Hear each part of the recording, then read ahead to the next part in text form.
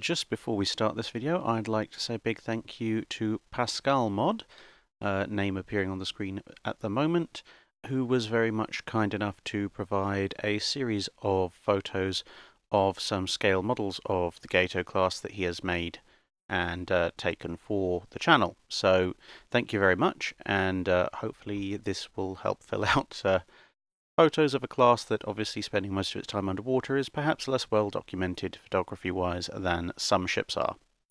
With that said, let's get on with the video. The Gato class was the tail end of a design lineage started in the late World War I period.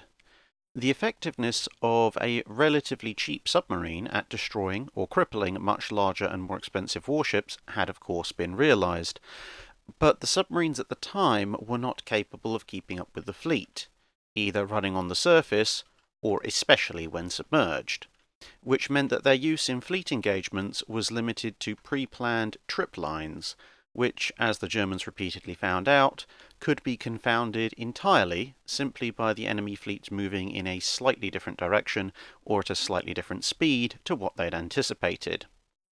It also meant that large amounts of subs had had to sail in advance of any fleet movement, which gave the enemy a greater chance to realise something was going on by direct visual observation or intercepted radio traffic.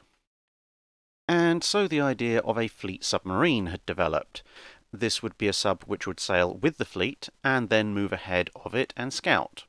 They would also report on enemy force dispositions and ideally also attack them. In this respect, the battle line speed of 21 knots dictated by the standard battleships worked in the US Navy's favour, since a fleet sub would only have to be about this fast, as opposed to trying to be much faster to keep ahead of a Queen Elizabeth class or battle cruiser line uh, such as would be the case for the Royal Navy.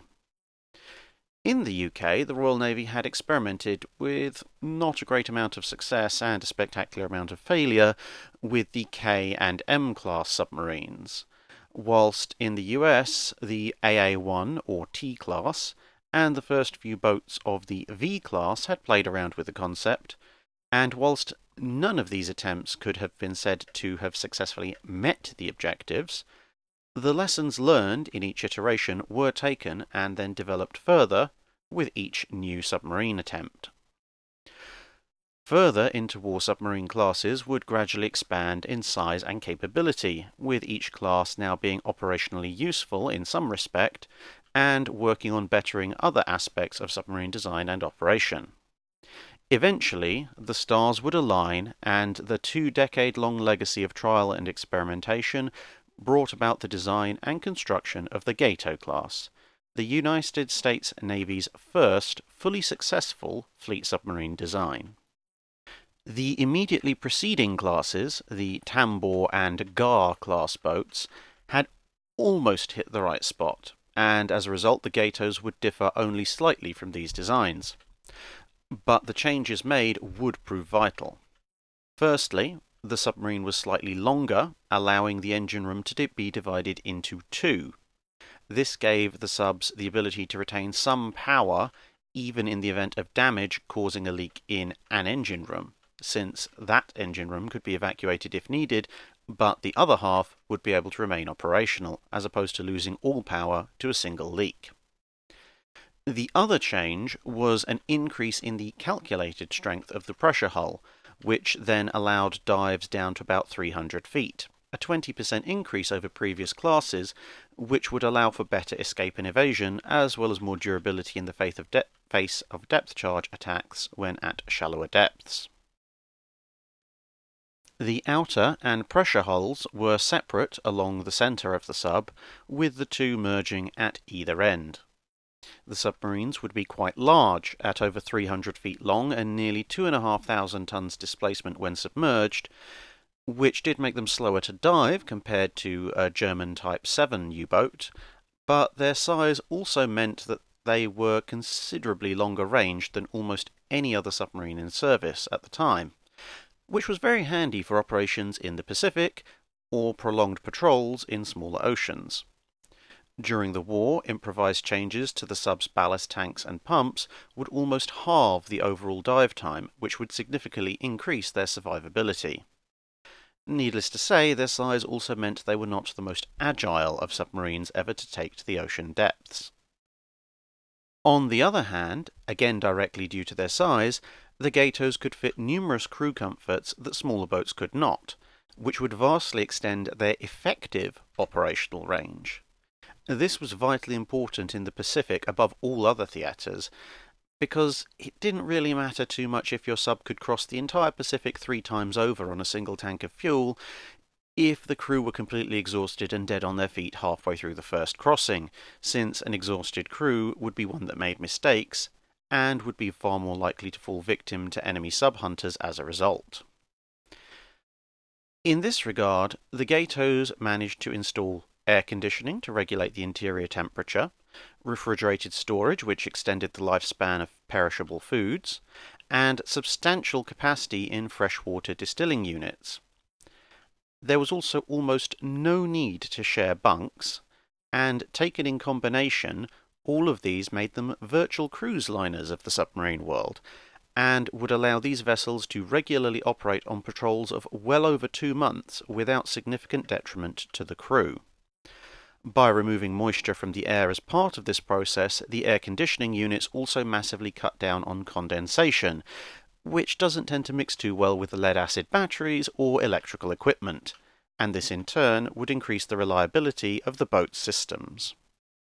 After the first few boats had an initially terrible engine installed, the bulk of the class would be fitted or refitted with replacement diesels which would work quite well, getting the subs up to 21 knots on the surface, whilst the batteries would get them up to about 9 knots when submerged. A total of 77 submarines of this class would be built, all of which were named after various fish species, as was the tradition for US Navy subs at the time. The initial armament consisted of six forward and four aft torpedo tubes for a total of 24 torpedoes, plus a 3 inch deck gun. Although, even on a sub, the 40mm Bofors and 20mm Oerlikons would inevitably appear during the war, along with the replacement by and large of the 3 inch gun with a 5 inch anti aircraft weapon.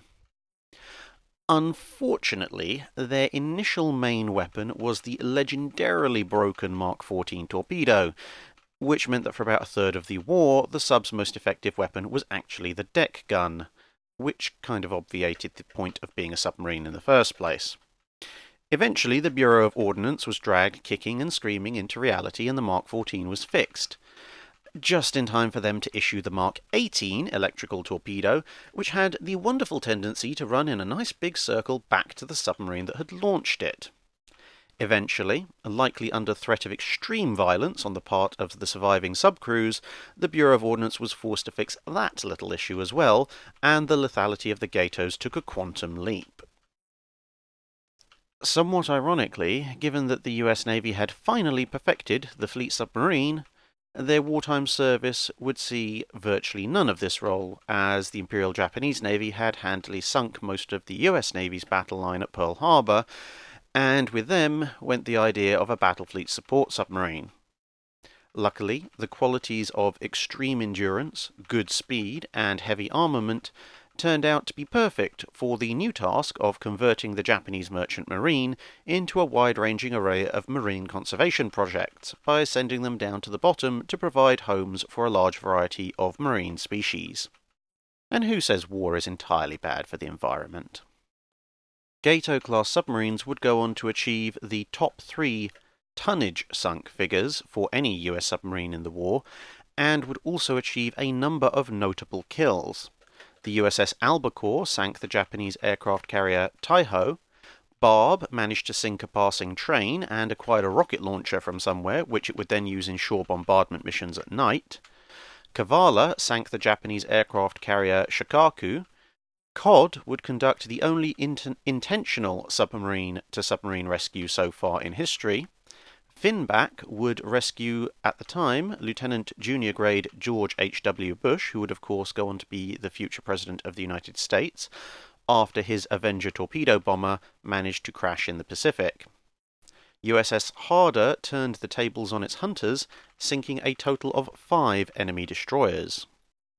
Unfortunately for the Gatos, although most of them would survive the war, their 300 foot test depth was significantly behind a number of other nation submarines, as well as later American subs such as the Balao and Tench classes. And so, with a few exceptions, most were rapidly decommissioned and scrapped after only a few years in active service, with a few being retained for experimental work, such as developing hunter killer submarines, and one, the Tunny, becoming the first nuclear missile sub in US service when it was given the Regulus cruise missile in 1953, shortly before becoming a transport sub once the Polaris program got off the ground. A few others would go overseas to serve with Allied navies, including, hilariously enough, a few that were sent to Japan. A total of six Gato class submarines survive in a publicly viewable condition. USS Cavalla is at the Seawolf Park near Galveston in Texas in a later configuration than the World War II fit out. USS Cobia is in the Wisconsin Maritime Museum in, surprisingly enough, Wisconsin. USS Cod is on display in Cleveland, and this submarine is actually still fully ocean capable and can still be used for live action filming at sea. USS Croaker is on display in Buffalo in New York, again like the Cavalla, in its hunter killer configuration from later in life. USS Drum is on display at the Battleship Memorial Park in Alabama, and USS Silversides is on display in, I am probably going to horribly butcher this, but anyway, Muskegon in Michigan. That's it for this video. Thanks for watching. If you have a comment or suggestion for a ship to review, let us know in the comments below. Don't forget to comment on the pinned post for dry dock questions.